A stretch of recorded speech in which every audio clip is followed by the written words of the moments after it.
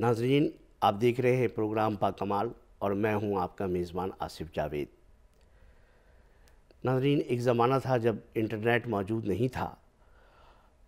उस ज़माने में लोग मालूम के हसूल के लिए लाइब्रेरियों का रुख करते थे और लाइब्रेरियों में इंसाइक्लोपीडियाज़ मौजूद हुआ करते थे, जिनसे इल्म के मतलाशी अपनी प्यास बुझाया करते थे। मगर ये इंसाइक्लोपीडियाज़ भी गुज़री हुई मालूम को ही फ्राहम कर सकते थे। करंट अफेयर्स को और मौजूदा ज़माने में क्या चल रहा है, वो मुहैया करने से कासर थे। फिर उसके बाद इंटरनेट का वजूद आया और उसके बाद सर्च इंजन का वजूद आया और फिर मालूम जो है वो इंटरनेट पर मुंतकिल हो गई। आज ये ज़माना है कि आप आपको कुछ भी मालूम करना हो, आप इंटरनेट के ऊपर जस्ट गूगल सर्च कीजिए और आप वो मालूम आपके सामने होगी। आपने ये भी देखा होगा कि मुख्तलिफ़ लोग मुख्तलिफ़ शोबजात में महारत रखते हैं। कोई तबियात का माहिर होता है तो कोई तिब का माहिर होता है तो कोई तारीख़ का माहिर होता है तो कोई कानून का माहिर होता है। मगर कोई एक शख्स इन तमाम शोबों में इतनी इल्मी दस्तरस रखता हो, आपकी नज़र से शायद ना गुज़रा हो। मगर हम खुश नसीब हैं कि आज हमारे दरमियान एक ऐसी शख्सियत मौजूद है, जिसे लोग ह्यूमन इंसाइक्लोपीडिया के नाम से जानते हैं। वर्ल्ड रिनाउंड हैं, इंडिया से इनका ताल्लुक़ है और गुज्त पंद्रह साल से ये कनाडा में मुकीम हैं और अब ये कैनेडियन हैं। नाजरीन, हम खुश नसीब हैं कि हमारे स्टूडियो में आज विक्रम लांबा साहब हमारे साथ मौजूद हैं। विक्रम लांबा साहब के पास मास्टर्स और पीएचडी की दो डिग्रियाँ हैं। विक्रम लामा साहब की पहली पीएचडी जो है, वो रिलीजन्स के बारे में है और दूसरी पीएचडी उनकी मैनेजमेंट के बारे में है। डॉक्टर लामा साहब छः किताबों के मुसनफ़ हैं 500 से ज़्यादा लेक्चर्स और सेमिनार और वर्कशॉप्स डिलीवर कर चुके हैं और डॉक्टर साहब के 2000 से ज़ायद आर्टिकल वर्ल्ड के रिनाउंड जर्नल्स में शाया हो चुके हैं। डॉक्टर साहब आपको प्रोग्राम बाकमाल में खैर मकदम करता हूँ। बहुत बहुत शुक्रिया आसिफ साहब। डॉक्टर साहब आपके बारे में लोगों की राय है कि आप एक ह्यूमन इंसाइक्लोपीडिया हैं। तो मैं ये जानना चाहूँगा और हम मैं अपने नाजरीन को ये बताना चाहूँगा कि ये जो सिर्फ़ आपके अंदर है ह्यूमन इंसाइक्लोपीडिया की कि आपसे अगर तारीख़ से मुतक़ कोई क्वेश्चन पूछा जाए तो आप उसका भी जवाब देते हैं। आपसे करंट अफेयर का के बारे में बात की जाए तो आप उसका भी जवाब देते हैं। आपसे कानून से मुतक़ लॉ से मुतक़ कोई बात की जाए आप उसका भी उसकी भी आपके पास इंफॉर्मेशन होती है। आपसे इंडिया के बारे में कोई बात करें तो आपके पास इंफॉर्मेशन होती है। आपसे कनाडा के बारे में बात करें तो आपके पास इंफॉर्मेशन होती है। आपसे पूरे वर्ल्ड के बारे में अगर हम कोई बात करें तो वो इन्फॉर्मेशन भी आपके पास मौजूद होती है। तो ऐसा क्या आपकी ऐसी ये स्पेशलिटी आप कुछ इसके बारे में बयान करना पसंद करूँ आसफ साहब, ये स्पेशलिटी मैं नहीं कहूँगा। ये एक डिसिप्लिन है। डिसिप्लिन ऑफ़ माइंड और डिसिप्लिन ऑफ़ ब्रेन अनफॉर्चुनेटली आज के ज़माने में हम स्पेशलाइजेशन की बात करते हैं और रिज़ल्ट ये हो जाता है कि हम एक मेंटल गैटोस बना लेते हैं। साइकोलॉजिस्ट जो है, वो एक इकॉनमी का नहीं जानता, इकोनॉमिस्ट मिलिट्री अफेयर्स को नहीं जानता, मिलिट्री अफेयर्स वाला रिलीजन को नहीं जानता। अगर आप ट्रेडिशन देखें नॉलेज की तो आप ये देखेंगे वो लोग जिन्होंने ह्यूमन फ्रंटियर ऑफ़ नॉलेज को एक्सपेंड किया, वो एक डिसिप्लिन, एक सब्जेक्ट के स्टूडेंट नहीं थे। एरिस्टोटल को देखिए, फिलोसफर भी था साइकोलॉजिस्ट भी था साइंटिस्ट भी था प्लेटो को देखिए पोलिटिकल साइंटिस्ट था इकोनॉमिस्ट था मैथमेटिशियन था। हिंदुस्तान में चाणक्य को देखिए। फल्कियात का इल्म भी हर चीज़ एस्ट्रोनॉमी भी। और उसके बाद लेनार्डो डा विंची को देखिए जिसने कि पहला हेलीकॉप्टर बनाया। जी। पेंटर भी था राइटर भी था साइंटिस्ट भी था डॉक्टर भी था। तो हमने ये देखा कि ये जो लिबरल बेस है, ये बहुत इम्पोर्टेंट है और बचपन से ही एक हमें एटीट्यूड ये बना लिया कि हम उस स्कूल को फॉलो करेंगे, जो कि एक डिसिप्लिन को नहीं, पूरे इंसान की इंडिविजुअलिटी को, पूरे इंसान की शख्सियत को स्टडी कर पाए। देखिए, कोई इंसान रोबोट नहीं है। इंसान में अगर ह्यूमन फीलिंग्स है मेडिकल इश्यूज़ हैं तो वो एक सोशल क्रीचर है पॉलिटिक्स भी उस पर इफ़ेक्ट करती है इकोनॉमिक्स भी करती है वेदर भी करता है साइंस भी करती है। तो इसलिए ये ज़रूरी होता है कि हर सब्जेक्ट की नॉलेज हो और हमारी स्टडी उस पॉइंट से कंसंट्रेट की on all aspects of knowledge तो ये जो इतना वसी अहाता जब आप नॉलेज का करते हैं, जिसमें कि हर डायमेंशन से हर एंगल से और डिफरेंट डिफरेंट किस्म के एरियाज़ में आप की स्टडीज़ होती है तो आपको इतना टाइम कैसे मिल जाता है? देखिए सब दिन में 24 घंटे होते हैं। जी। लोग आठ घंटे वेस्ट कर देते हैं रोज़ one third of the life मैं दो ढाई घंटे से ज़्यादा नहीं सोता। मैं 16-17 साल की एज से ढाई घंटे से ज़्यादा नहीं सोया। और अगर मैंने छः घंटे रोज़ सेव कर लिए तो साल में तीन सौ पैंसठ मल्टीप्लाइड बाई सिक्स घंटे मैंने सेव कर लिए। That means one fourth of the year मेरा एक्स्ट्रा बन गया। जब लोगों का एक साल है तो मेरा one point two five years है। तो वो जो वन फोर्थ ईयर सेव होता है, वो नॉलेज गेन करने के लिए है। आपने बहुत उम्दा स्ट्रेटेजी बताई है। मैं समझता हूँ कि हमारे नाजरन को इससे बड़ी मदद मिलेगी कि डॉक्टर साहब हमारे जो नाजरीन हैं वो ये जानना चाहेंगे कि आपकी पैदाइश जो है आप अपने आपके बारे में जो है वो जानना चाहेंगे कि आपकी पैदाइश कहाँ हुई और आपका ब्रॉटअप किस तरह हुआ आपने इब्तदाई तालीम जो है वो कैसे कहाँ हासिल की? ज़रा कुछ उस बारे में कुछ इजहार ख्याल फरमाइए। जी मैं पैदा हुआ था पाकिस्तान के एक शहर लाहौर में। छः नस्बत रोड लाहौर मेरा एंसेस्ट्रल होम है। लेकिन हमारे ग्रैंड पेरेंट्स वो रूलर थे चिन्नौट स्टेट के।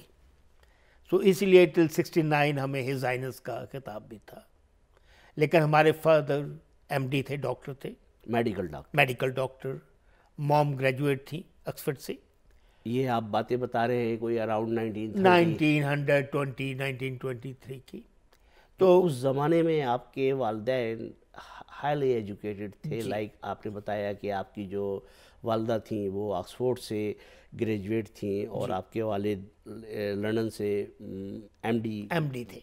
मेडिकल डिग्री रखते थे। तो उसके बाद वो सिविल सर्जन रहे। सिविल सर्जन के बाद चीफ मेडिकल ऑफिसर रहे। उसके बाद वो स्पेशल फिजिशियन थे लॉर्ड माउंट बैटन के। तो लॉर्ड माउंट बैटन के फिजिशियन होने के नाते जितने पॉलिटिकल लीडर थे क्या वो पटेल साहब हों या सदा नेहरू जी हों या दूसरे हों, हमारे लिए घर के मेंबर थे, कोई आउटसाइडर नहीं थे, और उनके साथ हमारा इंटरेक्शन ऐसे हुआ तो नेचुरली हमें वो एक हिम्मत मिली कि आगे बढ़ने की। उसके बाद my father was the first recipient of Padma Vibhushan in India 26 जनवरी 1950 पद्म भूषण पद्म भूषण का उन्हें अवार्ड मिला था। बहुत ही ऑनर्ड अवार्ड माना जाता है। तो उस वक्त हम पहले स्टूडेंट थे बिशप कॉटन शिमला के। ठीक। उसके बाद हम यूनिवर्सिटी में आ गए। दिल्ली यूनिवर्सिटी दिल्ली यूनिवर्सिटी में आए। पहले पंजाब फिर एमए किया पंजाब से। एमए किस सब्जेक्ट में इंग्लिश में किया। इंग्लिश में एमए किया आपने। और लेक्चर भर्ती हो गए और साथ में एडवाइज़र अपॉइंट हो गए मैडम गांधी की। ज़बरदस्त। यानी आप लेक्चरर कॉलेज में पढ़ाते रहे लेकिन आपके टैलेंट की बुनियाद पर वज़ी अजम ने सिटिंग प्राइम मिनिस्टर ने आपको अपना एडवाइज़र आसफ साहब आप हैरान होंगे कि पंद्रह साल की उम्र में जब हम अभी नाइन्थ क्लास के स्टूडेंट थे तो हमें पहली डिप्लोमेटिक असाइनमेंट मिली। पंडित नेहरू ने हमें इजिप्ट भेजा। असवान डैम की उस वक्त कंस्ट्रक्शन चल रही थी। जी। और वो जो मंदिर थे जी। जो टेंपल था जी। उसको चेंज प्लेस चेंज करनी थी रीलोकेट कर रीलोकेट करना ये यूनेस्को का प्रोजेक्ट था। और पंडित जी ने मुझे ऑर्डर दिया कि मैं तीन महीने जाकर स्टडी करूँ और उसके ऊपर रिपोर्ट प्राइम मिनिस्टर को दूँ। वो पंद्रह साल की उम्र में मेरा पहला डिप्लोमेटिक असाइनमेंट था। आपका। अच्छा इतने तालीम याफ्ता वालदेन और जो ज़माना आप बता रहे हैं तो उस ज़माने में तो इंग्लैंड जैसे मुल्क में भी तालीम इतनी आम नहीं थी तो जो आपका जो ब्राटअप हुआ है तो क्या आपके वालदेन कुछ आप पर खसूसी तवज्जो रखते थे? शुरू से ही उन्होंने आपको पुशअप टेक्नोलॉजी आपके लिए इस्तेमाल की थी? या ये आप में कुछ इंस्टिंक्ट्स थी? मैं ये कहूँगा कि मैं एक स्पॉइल्ड चाइल्ड हूँ। मुझे कहने में आपको स्पॉइल्ड कहते हैं? बिल्कुल स्पॉइल्ड हूँ। क्योंकि मैंने जो मांगा पेरेंट्स से मुझे मिला। ज़ाहिर है आपके पेरेंट्स जो है वो रॉयल फैमिली से ताल्लुक़ रखते थे। दौलत की कोई कमी नहीं थी। दौलत की कोई प्रॉब्लम नहीं थी किसी चीज़ की प्रॉब्लम नहीं थी लेकिन डिसिप्लिन बहुत स्ट्रॉन्ग था। My mother was very strict disciplinarian लेकिन फादर मेरे डॉक्टर होने के अलावा प्रेसिडेंट भी थे वर्ल्ड कांग्रेस ऑफ़ रिलीजन के हेल्सिंग की तो पहली मुझे जो पढ़ाई की ट्रेनिंग मिली, मेरे फादर से मिली। जब मैं बारह, दस साल का था तो उन्होंने मुझे दो बुक्स प्रेजेंट की मेरे बर्थडे पर।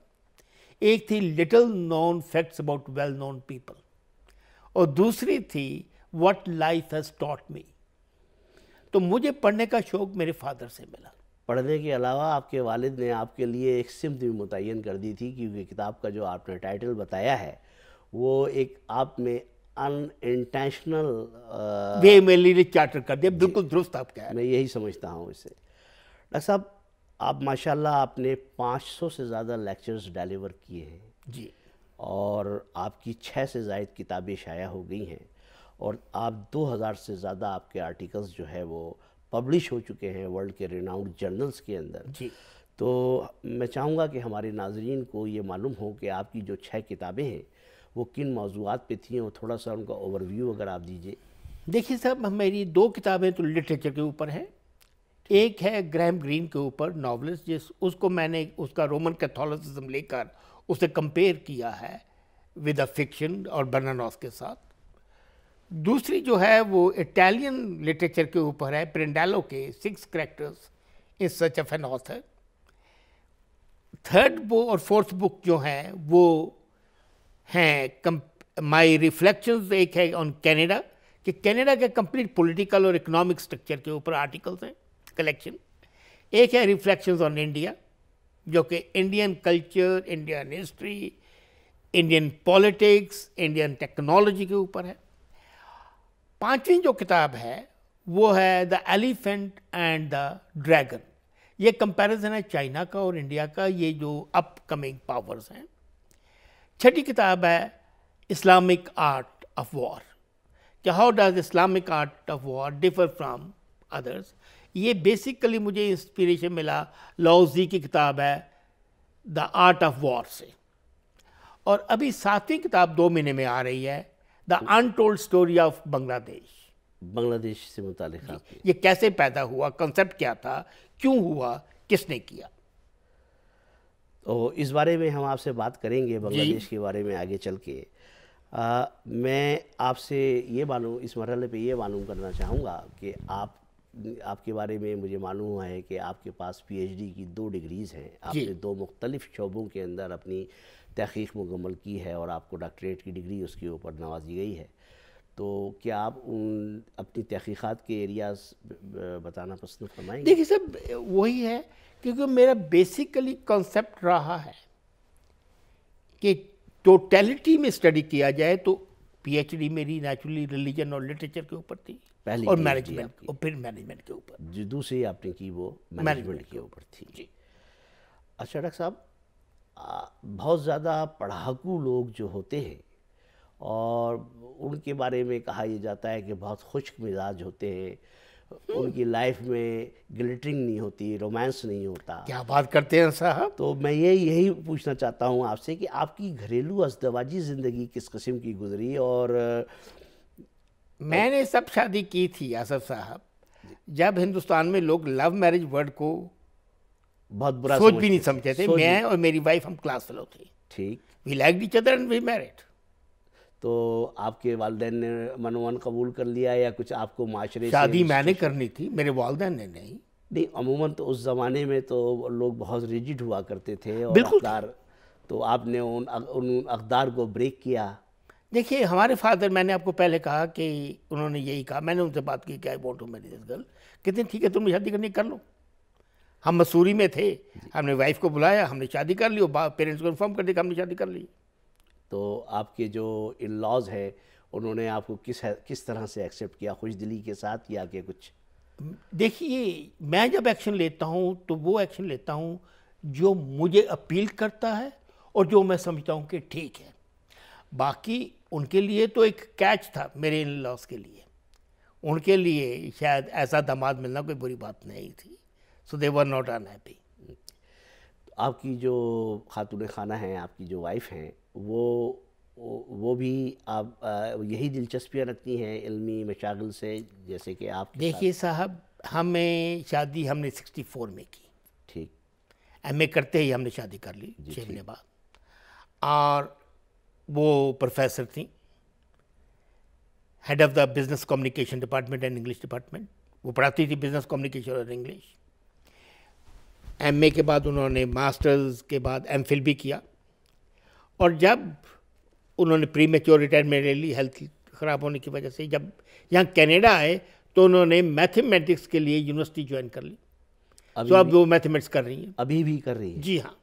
At the age of seventy five she is doing post graduation in mathematics masters in mathematics ये ये अथबास्का यूनिवर्सिटी से कर रही है। पहले टोरंटो यूनिवर्सिटी ज्वाइन की थी यू और अब अथबास्का अथबास्का यूनिवर्सिटी ज्वाइन की हुई है। क्योंकि ऑनलाइन है वो? इस मरल पे आप ये बताना पसंद करेंगे कि आपके कितने बच्चे हैं और मेरे दो बेटे हैं साहब।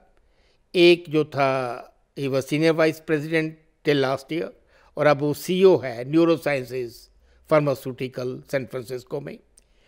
वो बड़ा है he is P M M B A from Wharton an engineer छोटे वाला जो है he is C F A and he is the senior consultant with Deloitte Touche तो माशाल्लाह आपके दोनों बच्चे ही माशाल्लाह बहुत high position much better than most of the people are मैं ये आ, बात आप या बता रहे थे तो गौर कर रहा था हमने अमूमन ये देखा है कि जो लोग अब अपनी ज़िंदगी में बहुत कामयाब होते हैं उन्होंने कोई बेंच मार्क अचीव कर लिया होता है और आ, कोई बहुत आला हैसियत हासिल कर ली होती है तो हमने अमूमन ये देखा है कि उनकी औलादें जो है उस बेंचमार्क तक नहीं पहुँच पाती हैं। और समटाइम्स तो ऐसा भी होता है डॉक्टर साहब कि वो एक नॉर्मल बेंचमार्क को भी नहीं पहुँच पाती। जी।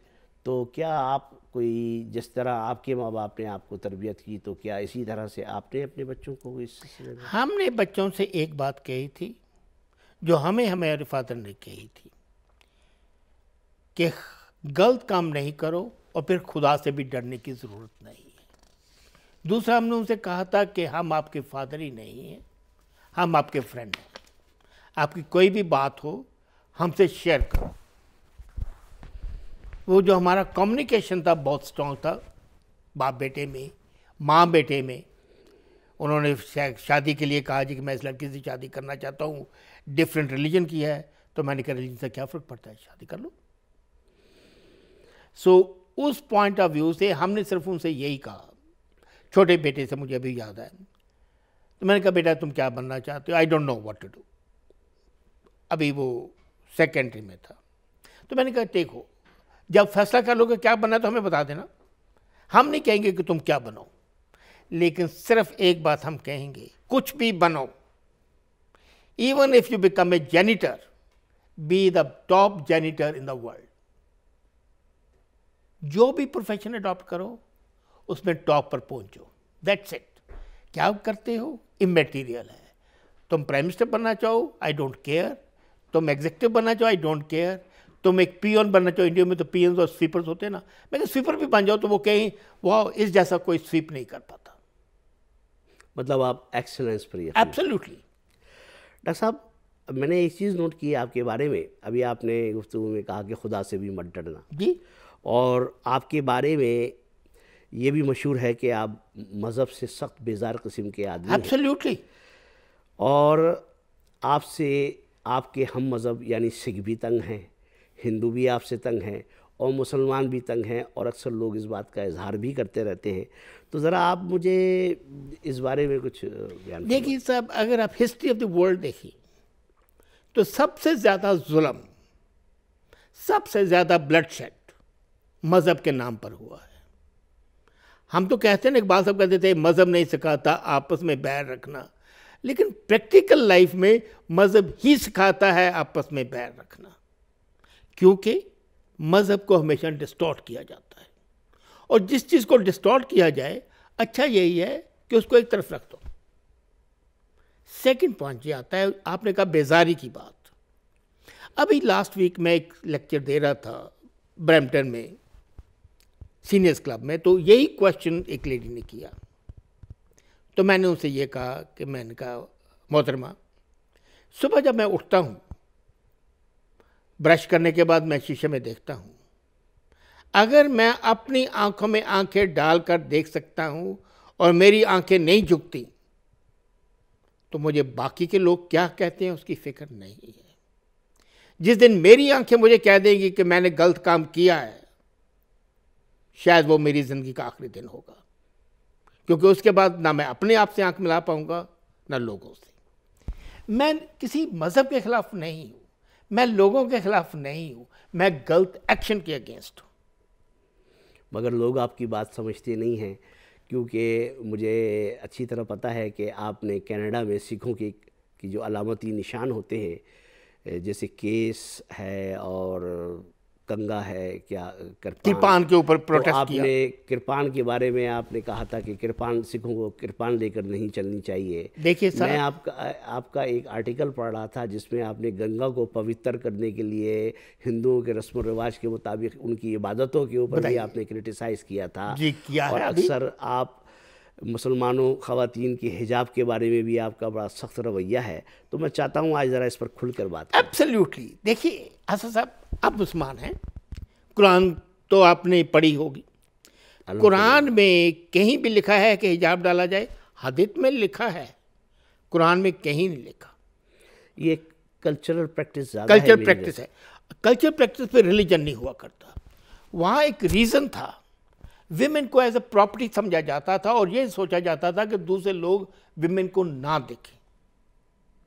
जैसे सिखों का है, जो कृपान है, गुरु ग्रंथ, एक तरफ़ तो सिख कहते हैं कि गुरु मानो ग्रंथ। एक हज़ार चार सौ तीस पेज हैं गुरु ग्रंथ के। एक लाइन भी दिखा दीजिए, जहाँ लिखा हो कि कृपान डालिए।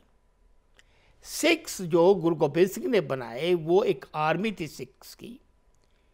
और कृपान उस वक्त एक इंस्ट्रूमेंट था। आज के दिन में कृपान की क्या वैल्यू है? जब पिस्टल आ जाएगी या रिवॉल्वर आ जाएगी या मशीन गन आ जाएगी तो। ये अलामती तौर पर तो अलामती तौर पर अगर रखनी है तो प्लास्टिक की रख ले मैंने कहा था। लेकिन अगर बाकी अलामतें चेंज आपका मतलब ये था कि तशद का पहलू ज़ाहिर ना होना चाहिए। देखिए स्कूल में बच्चा जाता है कृपान डालकर बाकी के बच्चे डर जाएँगे। वो बुलिंग टैक्टिक होगा। हिंदुओं ने भी बड़ी नाराज़गी का इजहार किया था जब आपने गंगा को पवित्र करने के बारे में हिंदुओं ने तभी इजहार किया था जब मैंने कहा था कि शिवलिंग की जब पूजा हो रही है Shivling is basically a sign of procreation तो विमेन पूजा करते हैं without even knowing that a male sex organ लेकिन अगर सच्चाई बताई जाए और लोग नाराज़ होते हैं तो इसका मतलब ये तो नहीं कि मैं सच्चाई बोलनी बंद कर दूँगा। मेरा मतलब इंसान होने के नाते ये है कि मैं फैक्ट्स जो लोगों को मालूम नहीं है वो बताऊँ वो माने ना माने मेरी रिस्पॉन्सिबिलिटी नहीं है। आपकी बात से ज़ाहिर होता है कि आप किसी मज़हब के ख़िलाफ़ नहीं हैं मज़ाहब की आप इज़्ज़त करते हैं लेकिन वो तमाम प्रैक्टिस जिससे कि वो मज़हब खुद बदनाम होते हो या उन पर हर्फ आता हो उसको आप आ, मैं करने हर उस चीज़ के अगेंस्ट हूँ जो एंटी ह्यूमन है जो इन ह्यूमन है। मैं कोई प्रे करता है घर में welcome he has every right to pray लेकिन देखिए, आसफ साहब, मेरा राइट है, मैं मार्केट में चल रहा हूँ तो मैं बाजू हिलाकर चलूँ। लेकिन जब बाजू हिलाने से साथ वाले का नाक टूट जाए तो मेरा राइट वहाँ नहीं जाता। मेरा राइट मेरे तक लिमिटेड है। किसी और के ऊपर ये फोर्स नहीं कर सकता। मैं ये बिल्कुल नहीं चाहता। मैंने प्रे करना है, मैं घर में करूँगा। मैं चाहता हूँ लोग करें? मुझे कोई फ़र्क नहीं पड़ता। एटलीस्ट ड्रग लेने से तो ज़्यादा अच्छा है कि वो प्रे कर कर अपने आप को शांति दें मेडिटेट करें। मगर अगर उस प्रेयर में नफ़रत है तो मैं डेफिनेटली उसे नहीं चाहूँगा। नफ़रत दूसरों के ख़िलाफ़। जी। बिल्कुल। आप अभी अपनी किताब के बारे में बता रहे थे जो कि आपकी सातवीं किताब है और जो कि बांग्लादेश के तनाजुर में वो तमाम हक़ बांग्लादेश की हिस्ट्री से मुतल कि बांग्लादेश की वजूहत की बिना पर मारज वजूद में आया उस पर आप एक किताब लिख रहे हैं। तो मैं आपसे पूछना ये चाहता हूँ कि चूँकि आपका ताल्लुक़ इंडिया से है और आप इंडिया की सिविल सर्विसेज़ के अंदर आपने बहुत लॉन्ग टर्म आपकी सर्विसेज़ रही हैं और आप इंडियन गवर्नमेंट के एडवाइज़र भी रहे हैं और जो मालूम तारीख़ है हमें वो ये बताती है मेरा ताल्लुक़ पाकिस्तान से है। जी। तो हमें हमें यही बताया गया है और तारीख़ भी यही बताती है कि पाकिस्तान को तोड़ने में इंडिया का बड़ा हाथ था। तो आप इस बारे में क्या कहते हैं? देखिए सब तोड़ने में हाथ था या नहीं डेफिनेटली इंडिया ने इंटरवीन किया। मुझे ये कहने में कोई गुरेज नहीं है। लेकिन आसू साहब मुझे ये बताइए कि अगर, अब मुजीबर रहमान साहब को गिरफ़्तार नहीं किया जाता। अगर ढाका यूनिवर्सिटी में प्रोफेसर की शूटिंग नहीं होती, अगर वहाँ पर गर्ल्स को रेप नहीं होता, अगर पाकिस्तान आर्मी और मुजाहिदीन बंगालियों को नहीं पीटते, अगर मुजीबर रहमान को वज़ी अजम बना दिया जाता था क्योंकि उनकी इलेक्शन हुई थी तो ये प्रॉब्लम कहाँ से खड़ी होती? जब आपने क्रिएशन पाकिस्तान गवर्नमेंट ने, उस वक़्त की गवर्नमेंट ने एक सिचुएशन ऐसी क्रिएट कर दी और एक करोड़ से ज़्यादा रेफ्यूजी इंडिया में आ गए। तो इंडिया गवर्नमेंट को आपने मौका दिया। वो गवर्नमेंट पागल ही होगी जो ऐसे सुनहरे मौके का फ़ायदा ना उठाए। मुझे कहने में कोई शर्म नहीं है कि अगर मैं उस वक़्त था और शायद वो सिचुएशन दोबारा हो तो कोई भी दुनिया की गवर्नमेंट ऐसे ही करेगी। क्या जनरल जिया ने यही नहीं किया था पंजाब में? जब सिखों को प्रॉब्लम थी, उन्होंने सिखों को हेल्प दी थी। As a matter of fact ये डिसाइड हो चुका था कि 6 जून को खालिस्तान डिक्लेयर होगा और जिया साहब पहले आदमी होंगे जो उसे रिकग्नाइज करेंगे। तो जब वो कर सकते थे तो इंडिया ने किया तो क्या पूरा किया? आप अपने, जब अगर लड़े नहीं, अगर आप ऑनेस्ट हों आपसे मेरा मतलब है पाकिस्तान की गवर्नमेंट और अगर वो लोगों की प्रॉपर कंप्लेंट्स को सुनकर एक्शन लेती तो ये सिचुएशन राइज नहीं होती। दो बिलियन लड़ेंगी तभी तो बंदर आएगा ना। तो बिलियों को लड़ने से रुकना चाहिए। बंदर का क्या कसूर है?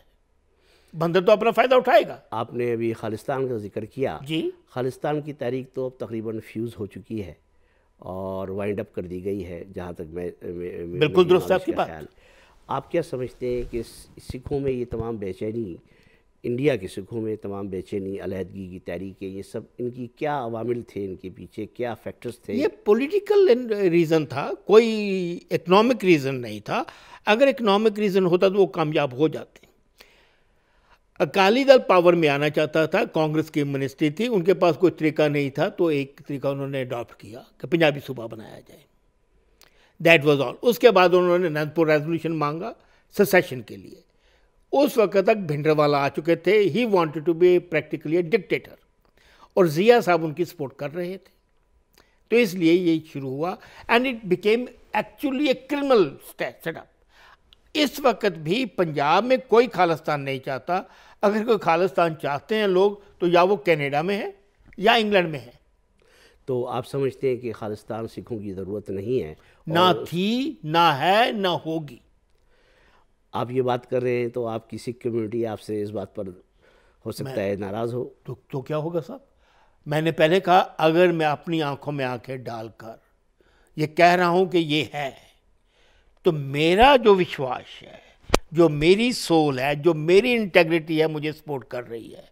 लोग क्या कहते हैं? देखिए, एक स्टेटमेंट हम देंगे, गलीलियो को जब फांसी की सज़ा हुई, जब उसने कहा कि earth moves around the sun तो ये बाइबल के अगेंस्ट है तो उन्होंने कहा कि इसे मार दिया जाए कि एंटी बाइबल टीच कर रहा है। तो उसने कहा, लोगों से पूछो। तो उसने कहा the majority opinion has no validity against the facts देखिए फैक्ट को चेंज करने के लिए एक पॉपुलर या वोटिंग की राइट नहीं होती। फैक्ट्स तो फैक्ट्स ही रहते हैं। आप उसे इनकार आज कर सकते हैं कल आप उसे एक्सेप्ट करेंगे। फ़र्क सिर्फ़ इतना है कि ये जो डेमोगॉग्स होते हैं टेमनी हॉल पॉलिटिशियन जिनको मैं कहता हूँ वो अपने सेल्फिश इंटरेस्ट के लिए इनोसेंट लोगों को एक्सप्लॉयट करते हैं। डॉक्टर साहब आप गवर्नमेंट ऑफ़ इंडिया के एडवाइज़र भी रहे हैं जी। और सिविल सर्विसेज़ में रहे हैं तो आप इंडिया को अंदर से भी जानते हैं और बाहर से भी जानते हैं। पाकिस्तान इंडिया का पड़ोसी मुल्क है। और हमने ये देखा है कि दुनिया में जो पड़ोसी ममालिक हों अगर वो अमन चैन और सुकून के साथ रहें तो वो तरक्की करते हैं। बिल्कुल दुरुस्त है। और अपने रिसोर्स का उनको ज़्यादातर हिस्सा फिर अपने डिफेंस पर खर्च नहीं करना पड़ता। जी।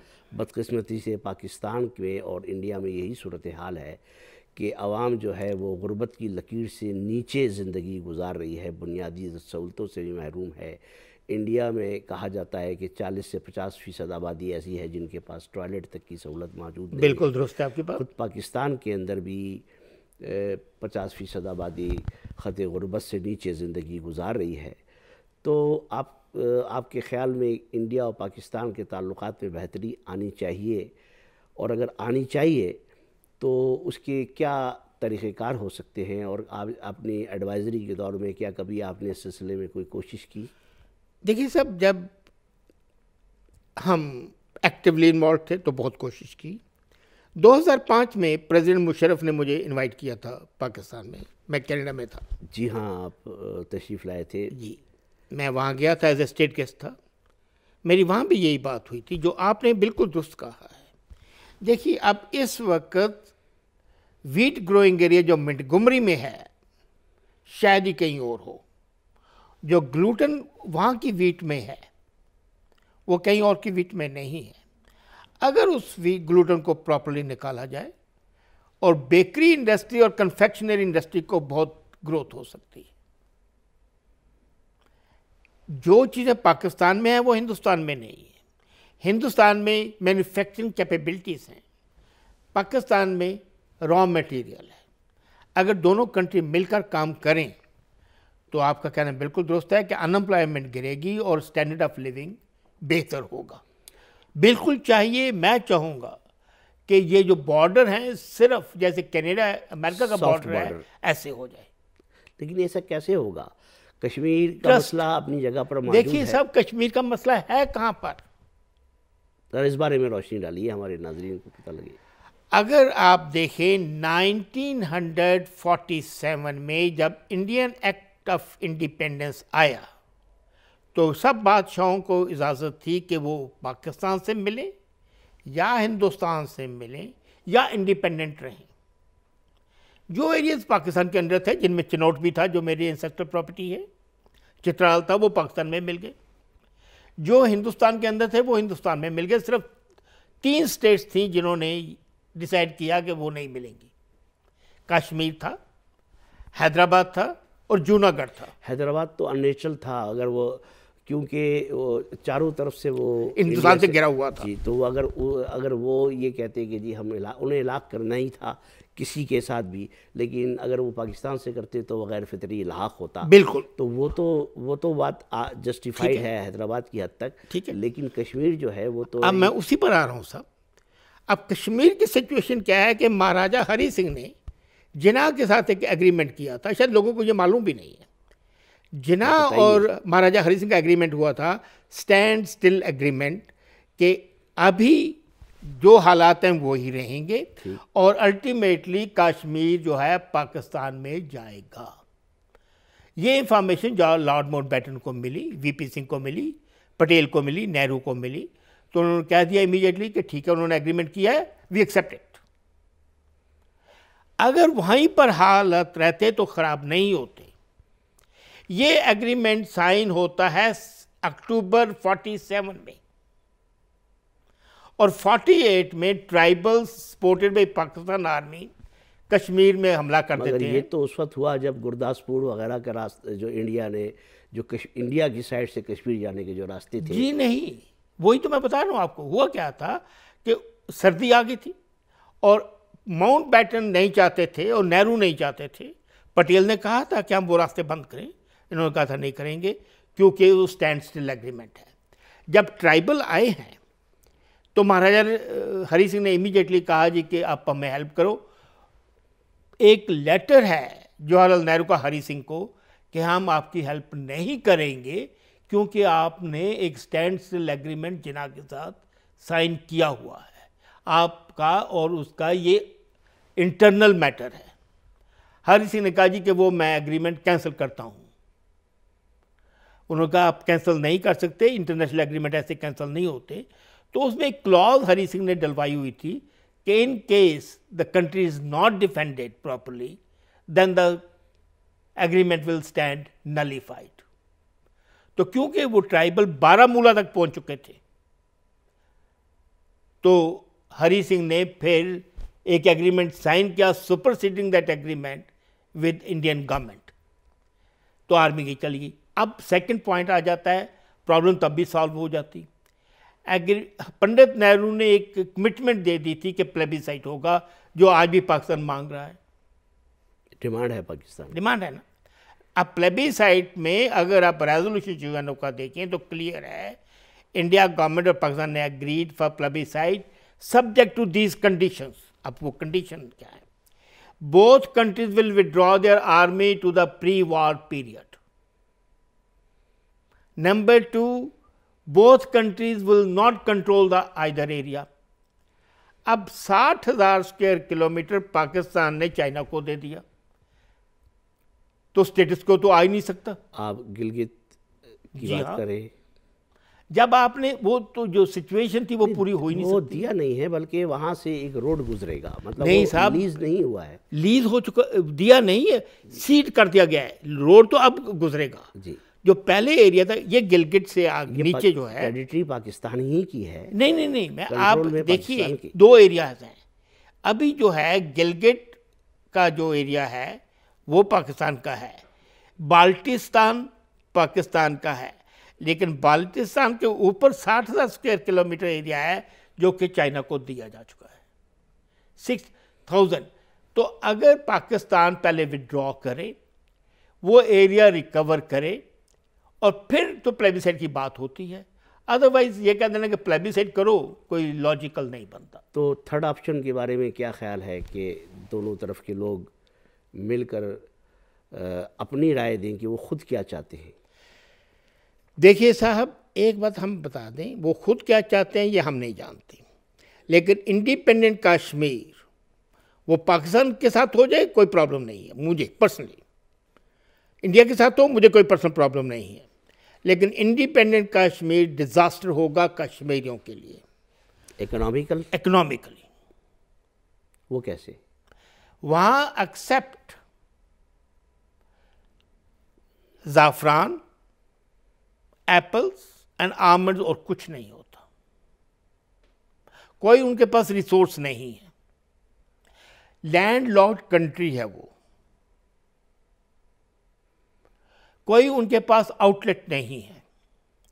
अगर वो सब्सिस्ट कर रहा है अभी तक तो जो सब्सिडी गवर्नमेंट ऑफ़ इंडिया दे रही है, उस पर कर रहा है।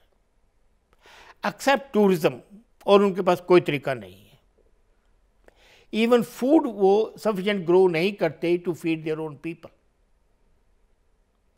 ना मैन्युफैक्चरिंग है, ना एग्रीकल्चर है, ना हॉर्टिकल्चर है सिर्फ़ टूरिज़्म इंडस्ट्री पर और वो टूरिज़्म इंडस्ट्री भी साल में तीन महीने रहेगी। जैसे ही सर्दियाँ आई टूरिज़्म इंडस्ट्री बंद हो गई। तो you can't live on that तो इंडिया और पाकिस्तान से पहले ये कश्मीर तो एक ही खत्ता था तो फिर ये कैसे सरवाइव था? ये कभी भी प्योरली इंडिपेंडेंट नहीं था। लॉन्ग बैक ये महाराजा रंजीत सिंह की के नीचे था। जब रंजीत सिंह गए तो गुलाब सिंह ने ये साठ लाख रुपए में लीज किया ब्रिटिशर्स से। उस वक्त बॉर्डर नहीं हुआ करते थे। पंजाब के लोग चाहे वो मुजफ्फरनगर, रावलपिंडी में रहते हों या गुरदासपुर, अमृतसर, लाहौर में रहते हों, वो लोग वहाँ जाते थे वहीं पर। ओपन ट्रेड था। लेकिन आज के ज़माने में जब ओपन ट्रेड नहीं है, या तो दोनों साइड्स ओपन ट्रेड भी करें। और जो सस्पिशन है वो हमेशा रहेगा और ओपन ट्रेड पॉसिबल नहीं होगा। तो आ, जो बातों से मैं नतीजा अक्स करता हूँ मुझे ऐसा लगता है कि कश्मीर का मसला कभी हल नहीं होगा। बड़ा सिंपल हल है। इंडिया और पाकिस्तान के लोग सफ़र इसी तरह सफ़र क्यों कर देंगे? मुझे ये बताइए क्या प्रॉब्लम है? कश्मीर ऑलरेडी एक लाइन ऑफ़ कंट्रोल है एलओसी जी। इसको आप इंटरनेशनल बॉर्डर बना दीजिए जो कि डिसाइड हो गया था at one time Shimla agreement में मैं खुद बात कर रहा हूँ अब। भुट्टो साहब मान गए थे। आपकी इस बात को ऑफिशियल माना जाए। जी नहीं क्योंकि मैं ऑफिशियल कैपेसिटी में नहीं बोल रहा हूँ। ठीक है। ये जो मैं कह रहा हूँ मेरी पर्सनल कैपेसिटी में पर्सनल कैपेसिटी लेकिन भुट्टो साहब मान गए थे इस बात को। सिर्फ़ उन्होंने कहा था जी मैं अभी नहीं कह सकता क्योंकि अगर मैं इस वक्त ये मान जाता हूँ एक lakh prison of war India के पास हैं। मेरा पहला काम है उनको घर लेकर जाना। और अगर मैं कहूँ कि कश्मीर की एलओसी जो है इंटरनेशनल बॉर्डर बन जाएगी तो पाकिस्तान के लोग मुझे कभी टॉलरेट नहीं करेंगे। मुझे टाइम दीजिए। मिस गांधी का ओके। वरना अगर उस वक्त पी ओ की बात नहीं होती, एक लाख जो पी ओ थे, जिनको रिलीज़ करना था तो शायद ये उस वक्त एग्री कर लिया जाता। फिर मुशरफ साहब और पटे, अटल बिहारी वक्त भी यही बात हुई। दोनों दोनों पार्टीज़ मान गई लेकिन कुछ एलिमेंट हिंदुस्तान में भी हैं कुछ एलिमेंट पाकिस्तान में भी हैं। अभी आप हमारी गुफ्तु के दौरान ज़िक्र आया गिलगित बल्तिस्तान का चाइना का और ये जो अभी एक पाकिस्तान ने अकार्ड साइन किया है 46 बिलियन डॉलर की जो इन्वेस्टमेंट पाकिस्तान में आनी है इसी चाइना इसी से चाइना के साथ। इस पर इंडिया को बहुत ज़्यादा तशवीश है। तो पाकिस्तान को तो तरक्की चाहिए पाकिस्तान को तो रोड चाहिए। देखिए मैं इसकी फेवर में हूँ जो उन्होंने कहा है बल्कि मैंने एक आर्टिकल लिखा है अभी कि ये जो एग्रीमेंट हुआ है पाकिस्तान का और चाइना का ये मुहदा ये agreement as a matter of fact अगर प्रॉपरली इम्प्लीमेंट किया जाए तो साउथ एशिया में ये पीस के लिए बहुत काम आएगा। मैं बिल्कुल इसकी फेवर में हूँ। आपसे एक बात मैं और मालूम करना चाहूँगा। फरमाइए। आजकल पाकिस्तान में बलूचिस्तान के हवाले से ये बातें की जाती हैं कि बलूचिस्तान में जो इंसर्जेंसी है बगावत है उसमें इंडिया का हाथ है। तो आप इस बारे में क्या कहना चाहिए देखिए सब ऑफिशियली मैं कुछ नहीं जानता। लेकिन अगर मैं वर्ल्ड पॉलिटिक्स की बात करूँ तो फिर वही बात होगी। अगर घर में झगड़ा हो रहा होगा तो जो दुश्मन है, या परसीव दुश्मन है? देखिए, हम कुछ भी कहें कि ये भाई भाई हैं। पॉलिटिकल लेवल पर they are antagonistic they are enemies Pakistan और हिंदुस्तान जो भी कहें, अभी तक इनमिकल हैं। अभी तक इनमें वो कंडीशन नहीं आई कि ये फ्रेंड्स अपने आप को कह। सकें अभी तक इन्होंने एक दूसरे को एम एफ़ एन स्टेटस भी नहीं दिया है। मोस्ट फेवर्ड नेशन स्टेटस तो नेचुरली बेनिफिट लेने के लिए तो कोई भी कहीं जाएगा। अगर इंडिया जा रहा है मुझे नहीं मालूम जा रहा है या नहीं जा रहा। लेकिन अगर जा रहा है तो इसमें मुझे हैरानी भी नहीं होगी। अभी आपने देखा कि ईरान पर बहुत ज़्यादा पाबंदियाँ आयद रहीं और अमेरिका ने अभी ईरान को कुछ रिलीफ दिया कुछ उनके न्यूक्लियर सेक्शंस उनके ऊपर कुछ नरम कर दी हैं। तो इस सिलसिले में आपका क्या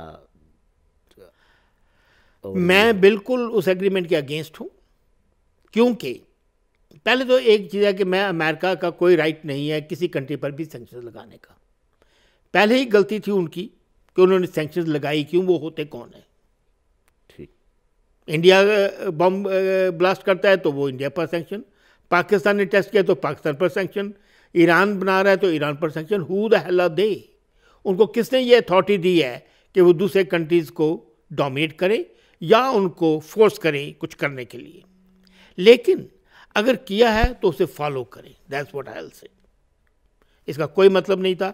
और ये जो एग्रीमेंट है बेसिकली अगर ठीक तरह से इम्प्लीमेंट हो जाए तो कोई बुराई नहीं है। और ईरान का पूरा राइट है to do what it thinks proper doctor साहब अभी जी। सऊदी अरब ने यमन पर यलगार की हुई है। जी। और बहुत ज़्यादा वहाँ बमबारी की क्या आप समझते हैं कि सऊदी अरब का ये एक्शन जायज़ था? सब सऊदी अरब और ईरान का तो झगड़ा है कि मुस्लिम वर्ल्ड को कौन डोमिनेट करे? ईरान करे या सऊदी अरब करे? अल्टीमेटली शिया सुन्नी प्रॉब्लम आ रही है। लेट्स बी ऑनेस्ट ये झगड़ा गलत है या ठीक है? लेकिन झगड़ा तो है। उनको खतरा है सऊदी अरब को कि अगर ईरान कामयाब हो जाता है तो सऊदी किंग्स कहाँ जाएँगे? किंग अब्दुल्ला सब तो गए अब किंग सुलेमान है। उन्होंने ये देखना है कि उनकी हुकूमत रहेगी या नहीं रहेगी। तो ये अगेन सेल्फिश इंटरेस्ट है। ना तो मुसलमानों के इंटरेस्ट में है।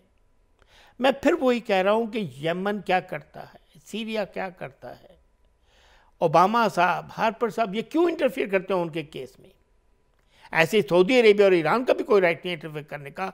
हर कंट्री को हक है वो के, वो कैसे अपनी आपको मैनेज करे और कैसे अपने आप को एडमिनिस्टर करे। अब हम थोड़ी सी कनाडा के बारे में बात करना चाहेंगे। बिल्कुल।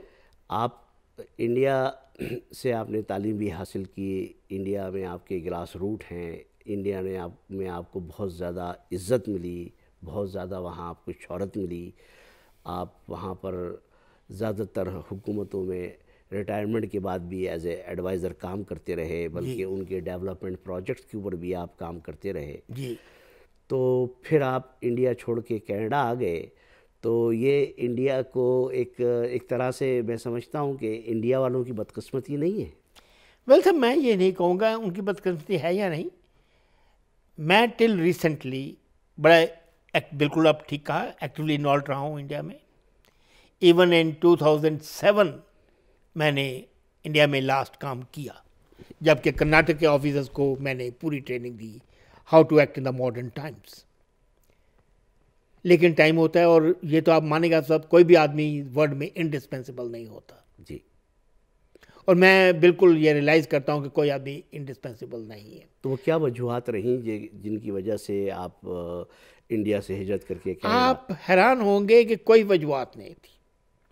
उस वक्त हमारा एल्डेस्ट बेटा यहाँ था।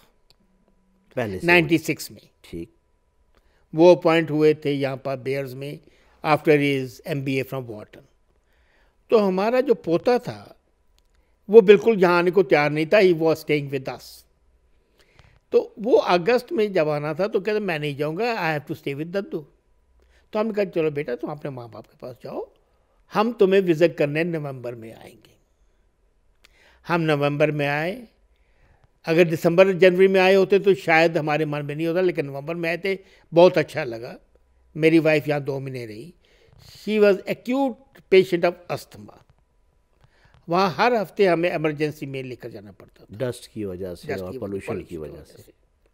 और यहाँ पर जो दो महीने रही उनको कोई दिक्कत नहीं हुई तो वो कहती वहाँ क्यों ना जाए? तो मैंने टाल दिया। 97 में फिर वो उनको यहाँ भेज दिया।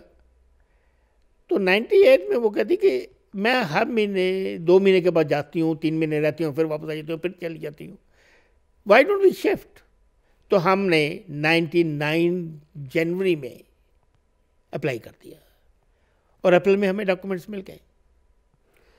डॉक्टर साहब यहाँ पर भी आप आए और आपको बहुत ज़्यादा पजीराई मिली और यहाँ पर भी आप हुकूमती हलके और सियासी हलकों ने आपको हाथों हाथ लिया सर पर सर हाथों सर आँखों पर बिठाया। जी। और अक्सर हम अखबार के ज़रिए और न्यूज़ के ज़रिए मालूम होता रहता है कि आपको आठवा दावत दी जाती है पार्लियामेंट से ख़िताब की। आपको मशवरों के लिए भी बुलाया जाता है, राय के लिए भी बुलाया जाता है। तो ऐसी क्या आप तो मैंने कभी नहीं देखा कि ना आप अपने लिए कोई लॉबिंग करते हैं, ना कोई लॉबिंग फर्म आपके लिए होती है। तो ये किस तरीके से ये इतना इतना एतबार हासिल कर लेना और इस कदर इस कदर इज़्ज़त, एहतराम हासिल कर लेना कि जिसमें हुकूमत वक्त के जो बड़े लोग हैं, जो कि हुकूमत चला रहे हैं, वो इतना आपको मोहतरम आपकी राय को जाने कि, वो आपसे पार्लियामेंट में ख़िताब के लिए आपको दावत दे और राय मशवरे के लिए आपको दावत दे। तो ये एक, ये ऐसा कैसे हुआ? सब ये सिर्फ़ ये था कि हमने एक चीज़ देखी है कि be honest honest to yourself honest to the others नहीं काम करना तो ओपन कह दो कि नहीं करना है। हम यहाँ पहुँचे हैं पाँच नवंबर को। आठ नवंबर को एक हमने लेक्चर देना था अल्बनी क्लब में। हमें नहीं मालूम था कि वहाँ कौन कौन बैठे हुए हैं। हमने लेक्चर दिया। बड़ा क्रिटिसाइज़ किया हमने कैनेडा को।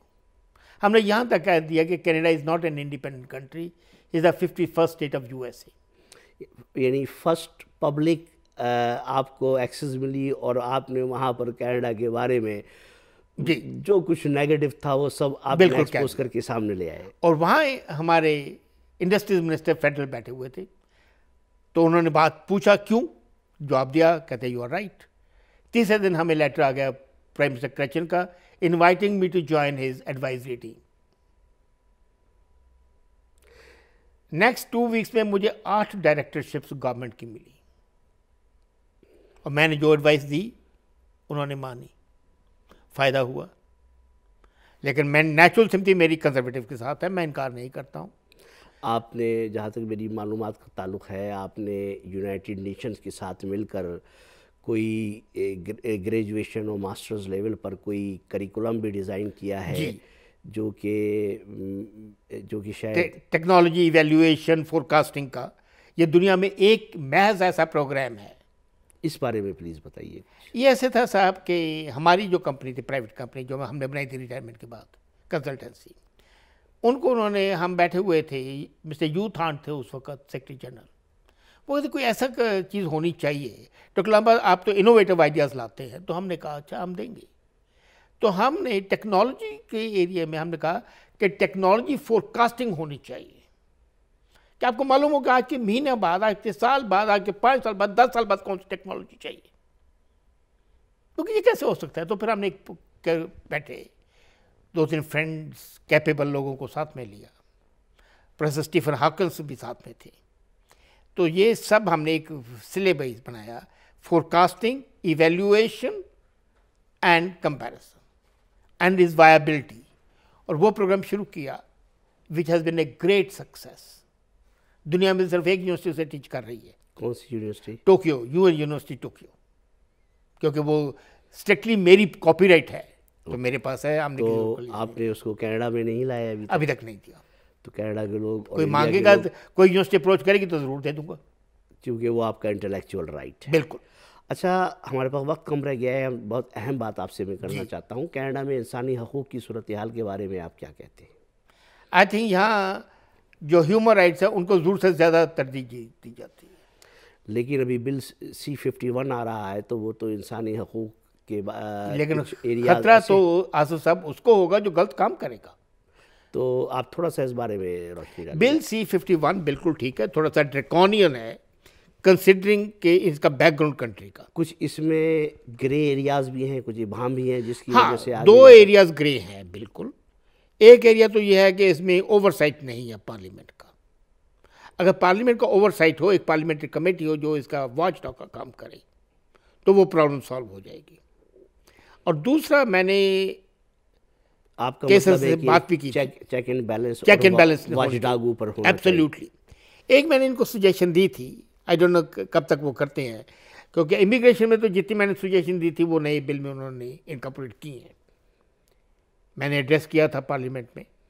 उन्होंने बुलाया था मुझे इमिग्रेशन एक्ट के लिए तो मैंने लेकिन इसमें मैंने उनको सजेशन दी थी कि एक कोऑर्डिनेटर ऑफ़िस बनाया जाए। जो कि आर सी एम पी सीसीज और प्रोविंशियल पुलिस को कोऑर्डिनेट करे और ओवरसी करे।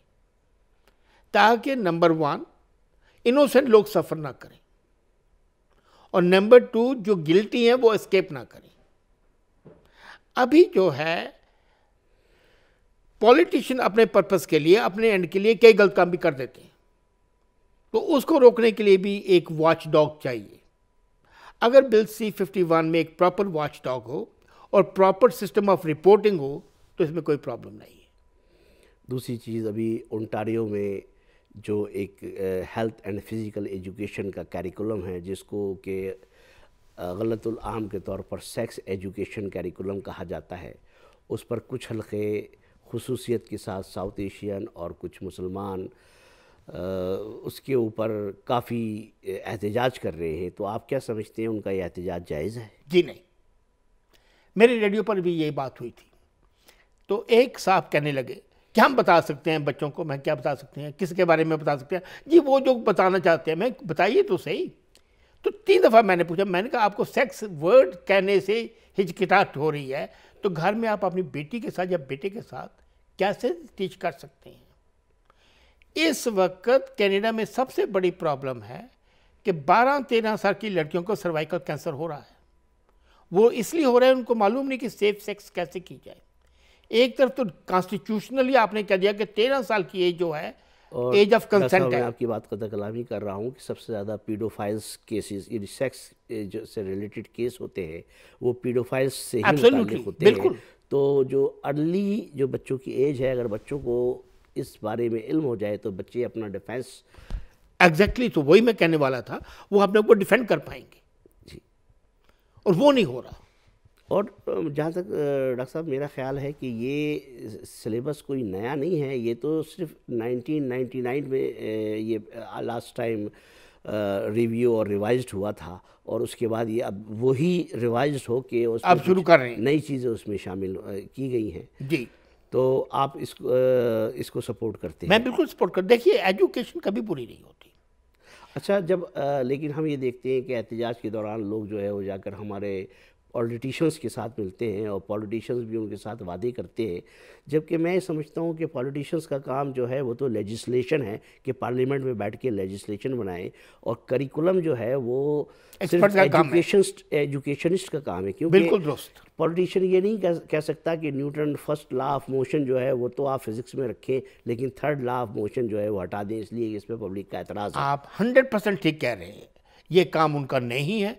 वो अननेसेसरली अपना इंटरफियरेंस कर रहे हैं जो कि एक्सेप्टेबल नहीं है। हम एक और बात भी कर लेते हैं कि अभी आपने देखा होगा कि फोर्स्ड मैरिजेस और पॉलीगेमी और अर्ली मैरिजेस जो होती हैं जैसे कि जिसमें कम सिनी की शादियाँ जिसको हम कहते हैं नाबालिग की शादियाँ हम्म। उस पर भी कानून जो है वो बन रहा है अभी मराहल में है।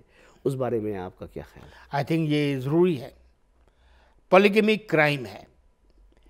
अगेंस्ट द विमेन मगर एक मज़हब में तो इसकी बाकायदा इजाज़त है उसकी प्रैक्टिस है। देखिए साहब मज़हब तो हर मज़हब में इजाज़त है। अगर मैं ट्रेडिशन देखूँ तो।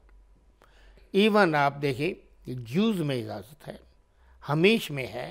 हिंदुज़म में तो तीन तीन सौ रानियाँ होती थी राजों की। मगर पॉलीगेमी से कनाडा की सेफ्टी और सिक्योरिटी को क्या और यह कल्चरल वैल्यूज़ को क्या ख़तरा है? देख कल्चरल वैल्यूज़ यह है कि कनाडा की कल्चरल वैल्यूज़ क्या हैं? मेरा ह्यूमैनिटी मेरा सवाल ये है कि अगर एक आदमी है खुशहाल है और वो दो बीवियाँ तीन बीवियाँ चार बीवियाँ रख सकता है तो उससे मैं नहीं समझता कि कुछ कल्चरल फैब्रिक के ऊपर कोई ट्रैवल हो। वो जो है इसे एक्सप्लाइटेशन ऑफ़ वेमेन आपकी नज़र में ये एक्सप्लाइटेशन ऑफ़ वेमेन तो फिर पॉलीएंट्री भी कर दीजिए। ठीक है दोनों को कर दीजिए।